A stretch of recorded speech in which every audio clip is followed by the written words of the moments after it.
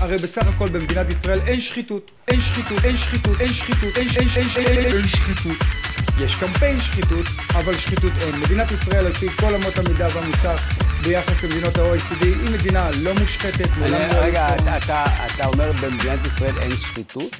אני אומר שבמדינת ישראל אין שחיתות, אין שחיתות, אין שחיתות, אין שחיתות, אין אין אין שחיתות, אין שחיתות, אין שחיתות.